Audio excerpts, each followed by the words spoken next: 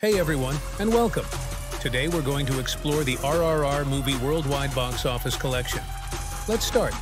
Tamil Nadu contributed Re 82 crore, Kerala added Re 25 crore, Andhra and Nizam saw a collection of Re 405 crore, Karnataka contributed Re 80 crore, the rest of India added Re 334 crore, and overseas earnings reached Re 350 crore.